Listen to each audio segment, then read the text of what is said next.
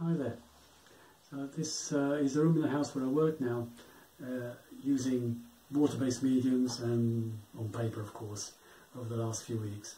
It's been very liberating to use this medium for me, and I've been able to really play and perhaps not worry as much as I would do when using oil on canvas. And what I really like to concentrate on is the um, images you get from black and white movies and caricature. I like film noir, I like the sort of narrative you can get and the scope for image making. Always inspired by the traditions of painting the, the, and image making from the Renaissance onwards and everything in between, even including photography in the modern era.